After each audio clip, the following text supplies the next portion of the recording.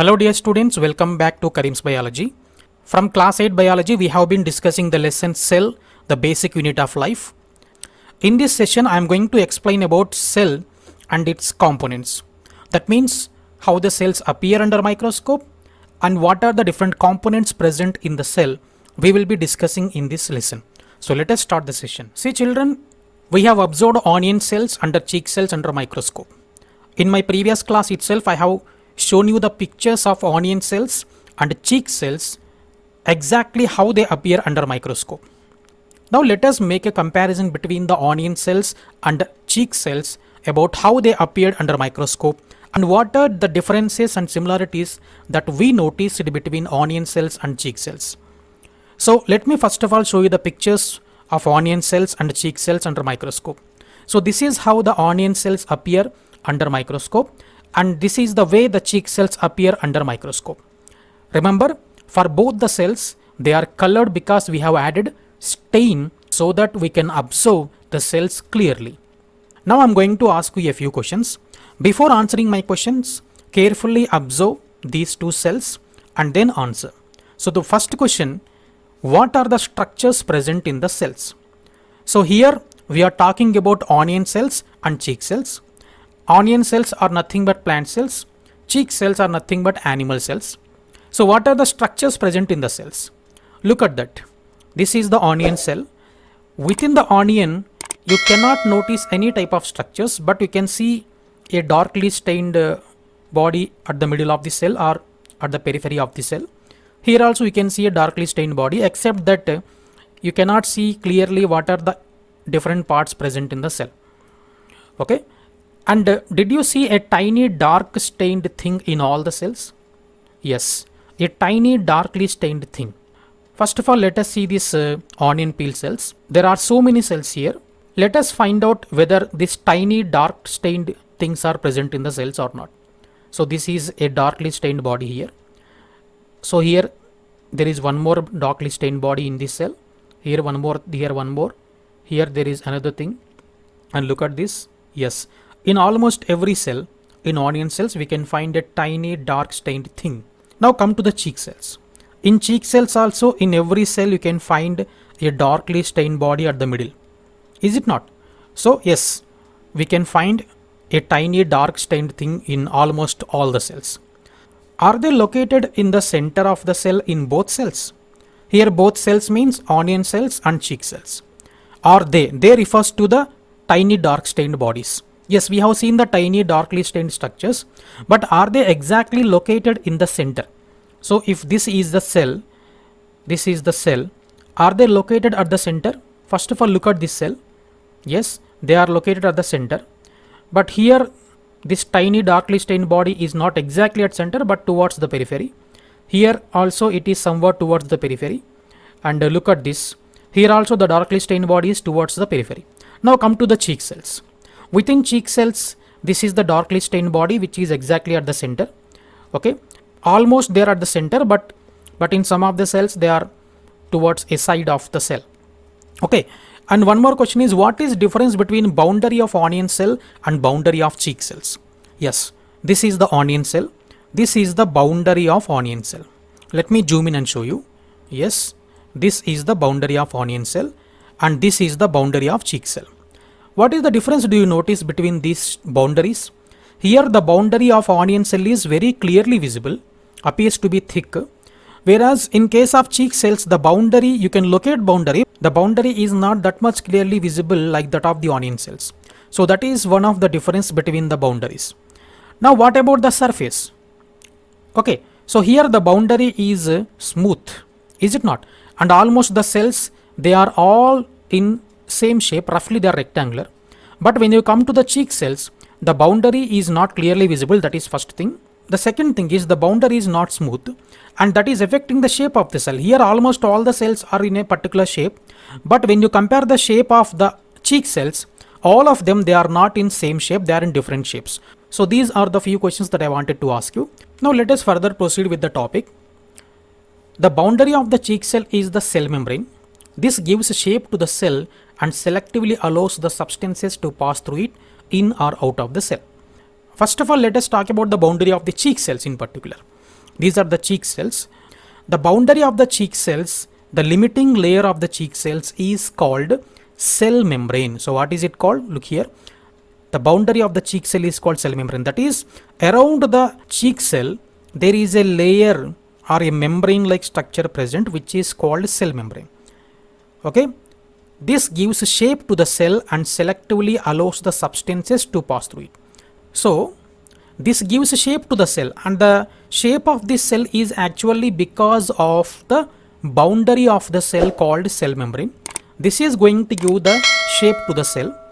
And one more thing is this boundary of the cell, you can see the boundary of the cell is separating the contents of the cell from external environment. So it is separating the inner parts of the cell from outside. Okay. And uh, as this is the outermost limiting membrane, if something has to enter into cell, definitely that substance has to pass through this membrane, right? If there is a substance here, if it wants to enter into the cell, then it has to pass through this membrane and then enter into the cell. In the same way, if any substance from within the cell has to come out, then that substance should also pass through this outermost boundary called cell membrane. Okay, but do all the substances enter into the cell and exit out of the cell? No, that is where the cell membrane is useful because the cell membrane not only gives a shape to the cell but it selectively allows the substances to pass through it in or out of the cell. It means look this point selectively allows that means the membrane here the cell membrane here it select only some of the substances and allows them into the cell. That's why it is called selectively permeable. It is also called selectively permeable membrane because it does not allow all the substances to enter into the cell. Because if all the substances enter into the cell some of the substances may be harmful to the cell and cause damage to the cell that is why the cell membrane is very careful in allowing the substances to enter or the substances to come out of the cell. Now the next question is, does this boundary also present in the onion cell? Yes, in onion cell also this type of boundary is present.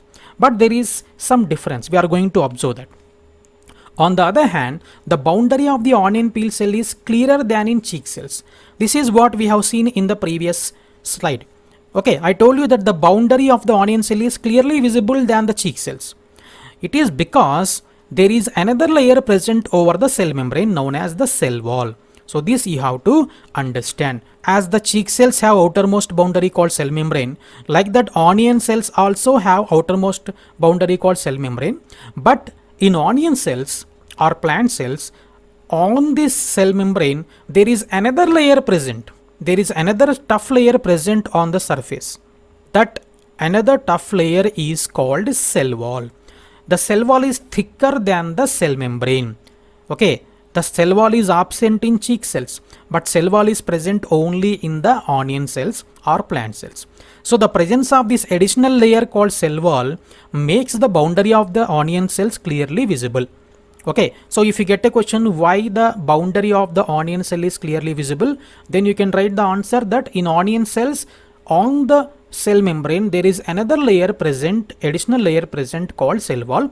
That's why the boundary of onion cells is clearly visible. Okay then what is the use of this cell wall present in the cell? In the plant cell let us find out. The cell wall it gives a shape to the cell. When i told you about the shape of the cheek cells I told you that they are not in a particular shape whereas the onion peels they are all in a particular shape.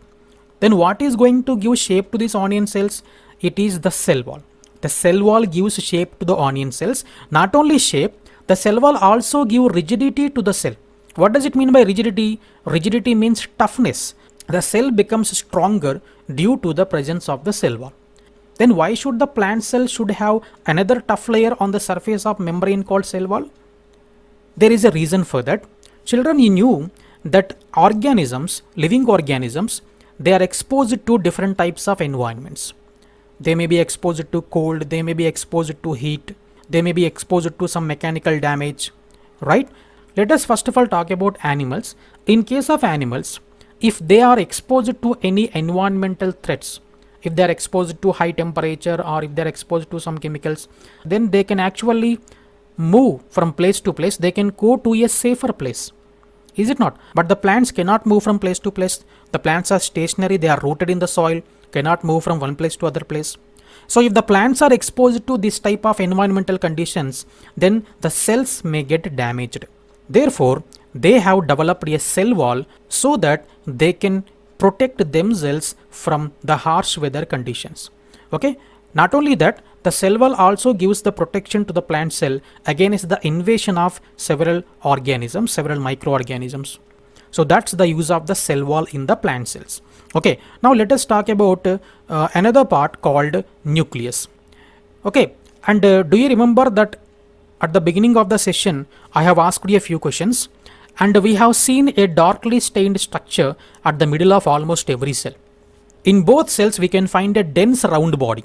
This is dense, it is round body. And what is it called? This dense round body that is found in every cell is called nucleus and it is a very important part of the cell. And there is a difference in the location of nucleus. In cheek cells, nucleus is present more or less at the center of the cell. Okay, these are the cheek cells. In cheek cells, more or less it is present at the center of the cell, but in onion cells, it is not at the center. Most of the onion cells, they have this darkly stained body at the periphery of the cell or at the towards one side of the cell. Okay, now let us find out what is the inner part of the cell contains. Within the cell, between the outermost boundary and the nucleus, the remaining part is filled with a fluid part or a jelly-like substance which is called cytoplasm. So what is cytoplasm? So cytoplasm is a jelly-like material that is present between the nucleus and cell membrane. And cytoplasm is said to be a heterogeneous material what is the meaning of heterogeneous material? It is very important. What is the nature of cytoplasm? Nature of cytoplasm is it is very heterogeneous material. Then why is it called? Why the cytoplasm is referred as heterogeneous material? It is called heterogeneous material because within the cytoplasm there are so many substances dissolved. There will be so many proteins present in the cytoplasm. There are so many other parts of the cells present called cell organelles in the cytoplasm. There are some macromolecules carbohydrates may be present in the cytoplasm. That's why the cytoplasm is not pure. It is in fact having different substances in it. That's why it is called a heterogeneous material.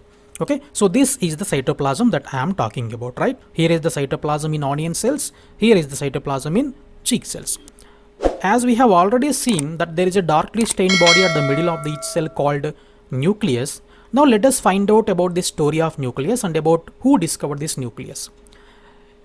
Actually the discovery of nucleus it was a significant observation. Why it was considered as significant observation means nucleus is an important very very important part of the cell because nucleus controls entire cell. That's why the discovery of nucleus is a significant discovery. And who discovered that? It was in the year 1831 there was a scientist by name Robert Brown. You can look here. This scientist is Robert Brown. In 1831, he was observing the cells in the orchid leaves. Do you know about orchids? Yes. These are orchids. Orchids are a group of flowering plants which produce colorful flowers. And he was observing the leaves of orchids. He took the leaf of orchid, he took a thin peel of the orchid leaf and he kept under microscope and observed. When he observed it under microscope, he observed a near circular spot that was slightly more opaque than the surrounding areas. So this is how cells appeared under microscope and in each cell he observed a near circular spot. This is a circular spot here. There is another circular spot here. There is another circular spot like that in every cell there is a circular spot present. So this is what he observed. And this circular spot it is opaque than the surrounding areas. Usually when you observe the cells under microscope they are translucent. But he observed that these circular spots they are more opaque. That's why they are clearly visible. Okay. And he also observed the same type of uh, structures in other cells also. He observed remaining plants. He observed animal cells plant cells. In almost all cells he observed this near round structure in every cell and that's the reason why as he observed this structure under microscope in every cell, he thought that this circular structure was not a separate part, it is actually one of the integral part of the cell. Integral part of the cell means like we have hands, legs, eyes which are integral parts of the body like that he observed that this circular spot is the integral part of the cell and he named it as nucleus. Okay, so that's about the discovery of the nucleus. Now let us find out about uh, what are the other structures present in the cytoplasm.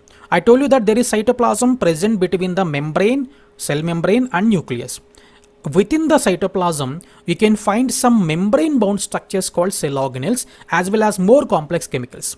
I told you already that the cytoplasm is a heterogeneous material. Heterogeneous in a sense that it has so many chemicals dissolved in it. At the same time, the cytoplasm also consists of some special little structures which are called cell organelles. Like we have organs in our body which which do different works. Within the cell there are tiny organs present which are called organelles and they perform different functions in the cell. And what do we call those tiny parts of the cell? Those tiny parts of the cells are called cell organelles. Okay around each cell organelle there will be a thin membrane called plasma membrane present. That's about the cell organelles. And the cell organelles they help to carry out several functions within the cell. You know cell has to perform different functions. The cell has to you know perform respiration. The cell has to perform transportation. The cell has to perform nutrition. Okay the cell has to burn the food to get energy.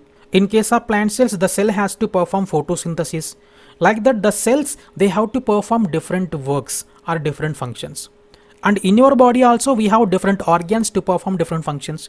Like that within the cells there are different organelles to perform different functions. So let me tell you some of the cell organelles. Cell organelles such as chloroplast nucleus endoplasmic reticulum golgi apparatus right these are some of the cell organelles which are very important for the cell to carry out different functions so that the cell can survive Understood children? That's about the components of cells. About the details of each and every cell organelle, you will be learning in your ninth class. Okay, that's all for today children. Thank you for watching. I will meet you in my next session.